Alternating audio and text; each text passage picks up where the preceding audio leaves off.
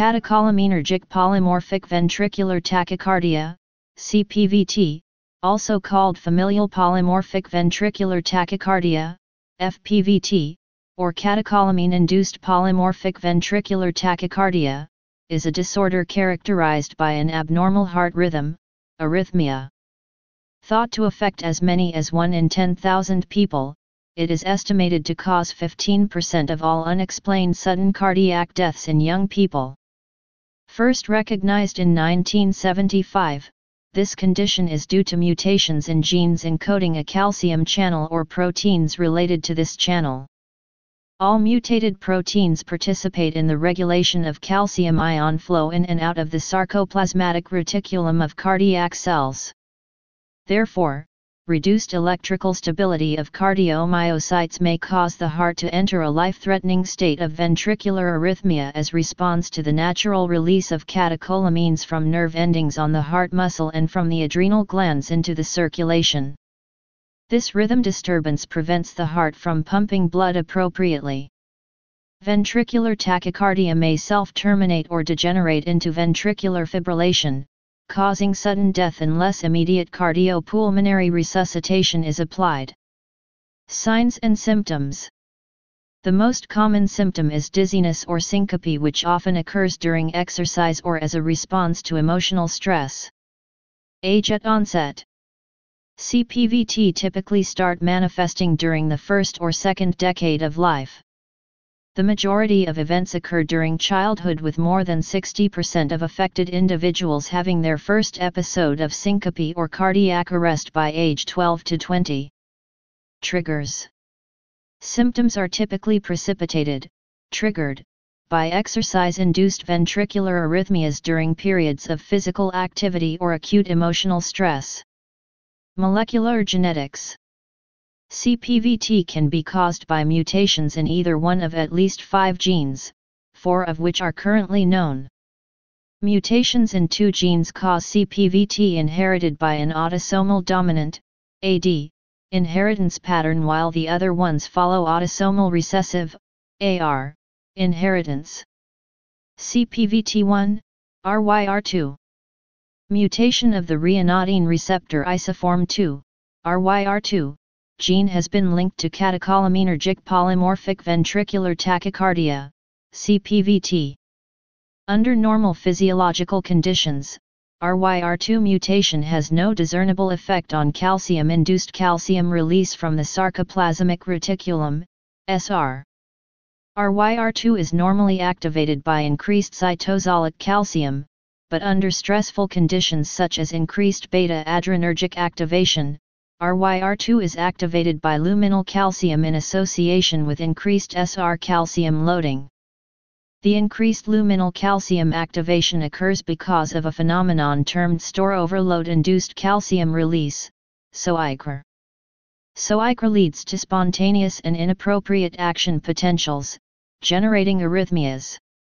A RYR2 mutation may increase sensitivity to luminal calcium activation, therefore increasing calcium release from the SR under store overload conditions and thus triggered arrhythmias. RYR2 mutations have been well characterized and been found to occur primarily in four major domains.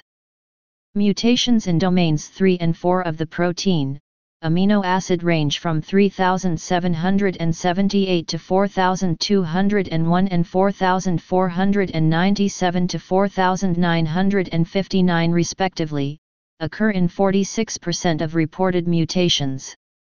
Mutations occur less frequently in domains I and II, amino acid 77 to 466 and 2246 to 2534 respectively. Causative RYR2 mutations outside these four domains are very rare, occurring in as little as 10% of reported cases. RYR2 mutations are most often single nucleotide substitutions resulting in a different amino acid substitution, however some in-frame substitutions and duplications have been documented. It is commonly accepted that more severe mutations have not been linked to CPTV as they are more likely to underlie different cardiac pathologies. Recent findings have characterized the pathology of RYR2 mutations and how they relate to SOICR as a matter of the intrinsic properties of the ryanodine channel. Two theories propose the underlying mechanism, domain unzipping, and FKBP12.6 unbinding. Firstly, domain unzipping refers to the separation of the N-terminal domain's interaction with the central domain, destabilizing the receptor the mutation would compromise the stability of the RYR2's closed state and increase its sensitivity to stimuli like luminal and cytosolic calcium. Domain unzipping coincides with the specific RYR2 domain mutations associated with CPTV. The second theory of FKBP12.6 is more controversial. FKBP12.6 is a RYR2 binding protein that stabilizes the receptor. FKBP12.6 binding to RYR2 is regulated by RYR2 phosphorylation via PKA that results in the dissociation of FKBP12.6, rendering RYR2 more sensitive to cytosolic calcium activation. However, as mentioned above, evidence has been conflicted in determining FKBP12.6's role in CPTV. So far the literature concludes that FKBP12.6 may play a role in certain CPTV mutations but not others, further research needs to clarify this protein's role. CPVT2, CASQ2 Mutations in the calsequestrin isoform 2, CASQ2, gene has been linked to CPVT. Under normal physiological conditions, CASQ2 is the major luminal CA2 binding protein in the sarcoplasmic reticulum, SR, which in the main CA2 storage organelle in cardiac muscle. CASQ2 is also associated with regulating SRCA2 release when bound to triadin, junctin and RYR2, forming a complex. This cytosolic to luminal Ca2 activation process that RYR2 regulates is termed store overload induced calcium release, SOICR. CASQ2 is responsible for initiating and terminating this process. CASQ2 acts in low levels of SRCA2+, where CASQ2 monomers inhibit RYR2 by forming the triadin junctin RYR2 complex, however at high levels of SRCA2+, CASQ2 monomers form polymers and dissociate from the RYR2 channel complex, removing the inhibitory response activating the channel to spontaneously release CA2+. A mutation, specifically R33Q and D307H and CASQ2 tend to alter the CA2 plus binding capacity or alter the interactions between CASQ2 and RYR2 channel complex, potentially affecting the response of RYR2. Mutations in the CASQ2 gene have been classified into 12 CPVT-associated mutations, 4 are nonsense mutations causing shortening of proteins, and 8 are missense mutations. R33Q and D307H reduce CASQ2 protein to 5% and 45% of normal levels respectively, which reduces SRCA2 plus buffering and binding capacity. The most severe missense mutation, D307H, converts aspartic acid, negatively charged, to a histidine within a CA2 plus chelating region.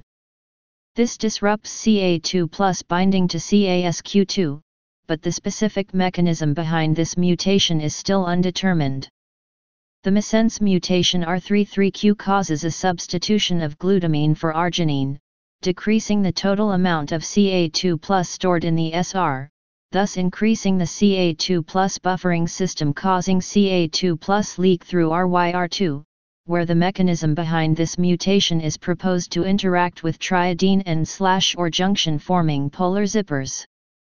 There are two major theories as to what is occurring when CASQ2 is deficient. It was found that decreased CASQ2 is associated with high levels of calreticulin, CRT. In the absence of CASQ2 signal, CRT levels increase and provide some compensatory SRCA2 binding activity. CRT levels decrease significantly after birth and high levels are only present in the developing heart, leading to the theory of caused bradycardia and sinus node dysfunction which is found in CPTV patients. With the absence of CASQ2, it was also found that RYR2 activity remained high in diastole since CASQ2 could not provide the inhibitory response, causing a prolonged CA2 plus leak which triggers early action potentials. With reduced SRCA2 plus buffering capacity, is a faster recovery of SR-free CA2 after each CA2 release, resulting in higher levels of SR-free CA2 and SRCA2 loading, both increasing trigger activity and SOIC recurrence. The exact mechanisms by which the mutations occur in the CASQ2 gene are still under investigation. Research underway is analyzing strategies to target RYR2 inhibition and approaches to increasing SRCA2+. Diagnosis Affected patients demonstrate no structural problems of the heart upon echocardiographic, CT, or MRI imaging. CPVT diagnosis is based on reproducing irregularly shaped ventricular arrhythmias during ECG exercise stress testing, syncope occurring during physical activity and acute emotion, and a history of exercise or emotion-related palpitations and dizziness with an absence of structural cardiac abnormalities. Because its symptoms are usually only triggered when the body is subjected to intense emotional or physical stress, the condition is often not detected by the traditional methods of electrophysiologic examination such as a resting electrocardiogram. Treatment Medication Medications to treat CPVT include beta blockers and verapamil. Flecainide inhibits the release of the cardiac ryanodine receptor-mediated CA2+, and is therefore believed to medicate the underlying molecular cause of CPVT in both mice and humans.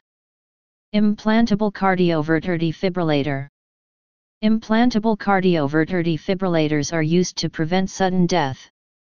Sympathectomy. In recent reports, left cardiac sympathetic denervation and bilateral thoracoscopic sympathectomy have shown promising results in individuals whose symptoms cannot be controlled by beta blockers. Please subscribe and thanks for watching.